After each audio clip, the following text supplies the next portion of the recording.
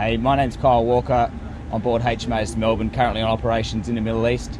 Just like to wish my family and friends back home a Merry Christmas and a Happy New Year.